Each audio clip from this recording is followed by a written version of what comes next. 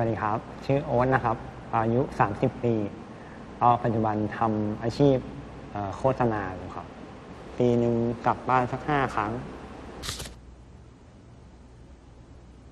จริงๆมีหลายเมนูมากเลยนะ แต่ว่าเมนูที่เรารู้สึกว่าทุกครั้งที่เรากลับบ้านแล้วเราแบบจะนึกถึงก็คือพะโล้ครับ ชื่อกระแตค่ะ อายุ 30 ปีค่ะทำงานเป็นเจ้าของธุรกิจอยู่ที่เชียงใหม่ค่ะ พอเราโฟกัสงานมากขึ้นอะ ก็เลยไม่ค่อยได้มาหาแม่ค่ะ แต่เป็นคนชอบอาหารรสจัดชอบชอบทานเผ็ดค่ะ ชอบทานหน่อไม้ แล้วแม่ก็ผัดอร่อยด้วย ผัดเผ็ดหน่อไม้ไก่ค่ะ สวัสดีครับ ชื่อแจ็คนะครับเอ่อเป็นอาจารย์สอนศิลปะการแสดงอยู่ แม่จะโทรหาทุกวันศุกร์กลับไหมลูก กลับบ้างไม่กลับบ้างอะไรเงี้ยครับ เมนูที่ชอบที่สุดอยู่กับมันมานานมากก็เป็นแกงเทโพครับ แล้วก็เป็นเทโพหมูสามชั้นด้วย ทุกครั้งที่แม่ทำเทโพผมจะอยู่ใกล้ๆเสมอ แม่จะเอาผักบุ้งขึ้นมาจากน้ำกำเอาไว้ในมือแน่นๆนะครับแล้วก็เอามาแล้วก็กำแล้วก็ตบปาบเข้าไปที่ก้านผักบุ้งแล้วแม่ก็จะเอามีดเฉือนชึบลงลงกระทะเลย ผมไม่เคยพูดว่าแม่ทำเทโพถูกต้องที่สุดในประเทศไทย แต่แม่ทำถูกใจผมที่สุดเท่านั้นพอ ของคุณแม่เวลาเรากินปุ๊บกลิ่นเนี้ยบ้านบ้านบ้านคุณเลยมันจะมีกลิ่นกลิ่นบางอย่างที่แบบแม่งเติบโตมาตั้งแต่เด็กอะพะโล้แม่ขอะคือศูนย์กลางของบ้าน ย้อนกลับไป เราไม่รู้สึกพิเศษอะไรนะตอนนั้นอะแต่เรารู้สึกเซฟรู้สึกปลอดภัยรู้สึกว่ามื้อนี้อร่อยแน่กินแล้วอยู่เนี้ยโอ้ยเผ็ดชิบหายเลย แต่เมนูเนี้ยคือแบบรู้สึกเลยว่าเหงื่อออกหนังศีรษะ แล้วก็คันหัวแบบ มันเผ็ดแบบคันหัว อร่อยก็อร่อยแบบ แม่เกลียดกูปะเนี่ย อะไรอย่างเงี้ยน่าจะย้อนไปสองเดือนที่แล้วมั้ง ไปปลายปี 64 ต้นปี 65 ค่ะ กลับไปกินครั้งสุดท้าย 8 ปีครับ เออ65 ค่ะ 68 ครับหกสิบเจ็ดครับ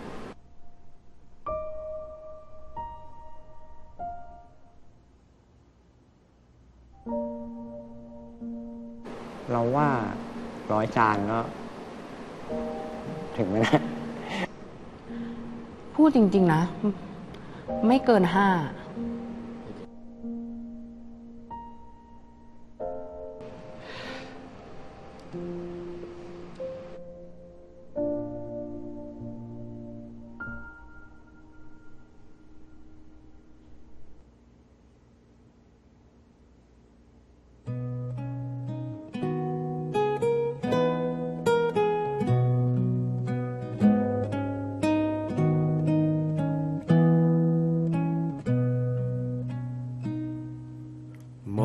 าวบนฟ้า คืนนี้ช่างสวยงามบทเพลงยังจำเคยร่ำร้องเมื่อเยาว์วัยยังคอยคิดถึงเวลานั้นมีจางไปบ้านที่แสนไกล ฉันเคยได้เติบโต แม้เวลาจะผ่านไป ยังมีเสียงใดเรียกหาใช่ ที่เคยจากมาเมื่อไรนะช่างแสนนานทุกฤดูการเปลี่ยนแปลงส่องเป็นแสงจากวันวานให้เรายังคิดถึงกันตั้งแต่วันที่บอกลา ตอนนี้คุณแม่เสียชีวิตแล้วครับ เมื่อประมาณ 6 ปีที่แล้ว อยากบอกว่าจะกลับบ้านให้บ่อยกว่านี้ เพื่อไปกินให้มากกว่านี้โพสต์อาจจะได้ทานพะโล้ฝีมือแม่เป็นจานสุดท้าย มันก็บอกไม่ได้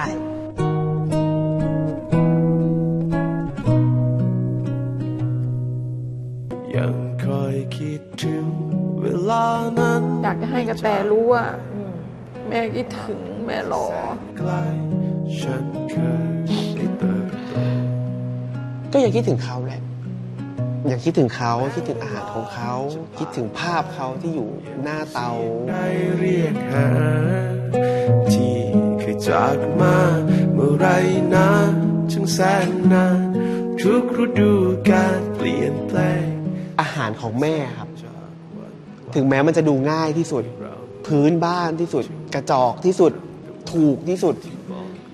แต่คุณจะไม่มีทางหาอาหารแบบนั้นได้เลยถ้าเขาไม่อยู่ Thank you.